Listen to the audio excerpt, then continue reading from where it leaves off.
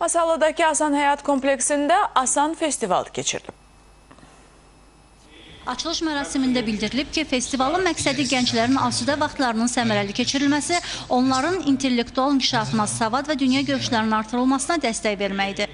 Sonra vətəndaşlara xidmət və sosial innovasiyalar üzrə Dövlət Agentliyinin sədri İnam Kərimov bu kompleksin ilk dəfə Masallıda istifadəyə verilməsini yüksək qiymətləndirib. Qeyd olunub ki, kompleks xidmət obyekti olmaqla yanaşı gənclərin istirahət və mədəniyyət mərkəzidir. Festival çərçivəsində Azərbaycan İntellektual Klublar Assosiasiyası İctimai Birliyinin təşkilatı təşkilatı dəstəyi ilə Asan İntellektual İnkişaf Mərkəzində Masallı şəhəri Təzə Alvadı, Xıl, Çaxırlı, Şərəfə, Hişkədərə və Mahmudavar kəndlərindən olan 60-a yaxın məktəblinin iştirakı ilə Masallı Asan İntellektual Kubok uğrunda bilik yarışı keçirilib. Yekun nəticələrə görə Şərəfə kənd tam orta məktəbinin şagirdləri birinci yeri tutaraq kubok və medallarla mükafatlandırılıblar.